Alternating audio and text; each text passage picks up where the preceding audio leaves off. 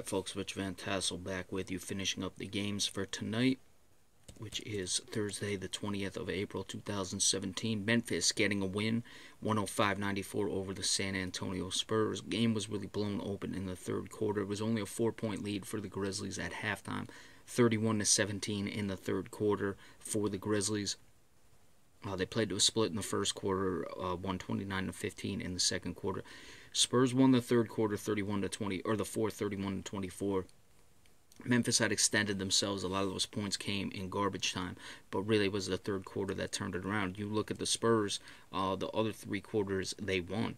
Uh, uh didn't win them all, but if you took all three quarters combined, they won by three points and still lost by 11. So a poor third quarter for the Memphis Grizzlies, or for the San Antonio Spurs. The Grizzlies good in the third quarter. Grizzlies finding their offense in this one. In the third, it started out bad. I mean, the first inbounds pass went out of bounds. Uh, Gregg Popovich pulled all five of the players who started the third quarter. I would assume they were his starters in uh, uh, like a minute and a half in. Uh, Lamarcus Aldridge, 16 points, 5 of 8 shooting, 11 rebounds. Kawhi Leonard kept in check, 6 of 11 shooting, good. This time he only shot four free throws, though and at 18 points. Tony Parker went scoreless, 0 for 4, did have a rebound but no assists. Uh, Dedmon, 2 points. Danny Green, 3 of 9 shooting, 6 points, did not make a 3 point shot. Off the bench, Patty Mills had 11. Uh, Anderson had 15. Simmons had 10. Uh, not all of that was in garbage time, but still, um, you know, the bench unit played much better than the starters in this one. The starters were actually terrible for the Spurs. I mean, Aldridge and Leonard give you only 34 points, and between the other three in the starters, you can't even get 10. Uh, you're not going to win many games. 34 of 72 shooting, 47.2%, 10 of 24, 41.7 from behind the arc for the Spurs. So that's not bad there as far as shooting percentage wise you know 94 points isn't terrible but it just it fell apart in the third quarter and the numbers can be conflated in that way. But you look at it i mean 10 of 24 is pretty good to make your threes. You'll take that in most games and usually be a lot more competitive for the Grizzlies, Zach Randolph moved into the starting lineup. He dropped 21 points, 8 rebounds, no assists, but did have a block, 9 of 16 shooting. Marc Gasol, 8 of 14, 21 points. Mike Conley Jr., 7 of 13, 24 points, 8 assists.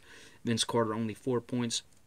But uh, Ennis, who moved into the starting lineup. Remember, uh, Randolph outplayed Lamarcus Aldridge. That was a matchup where I looked at going into this series. I thought JaMychal Green had to at least be competitive with Aldridge. He wasn't in the first two games, so they had to move him to the bench. He was effective off the bench, 8 points plus 17, 4 of 7 shooting, 6 rebounds.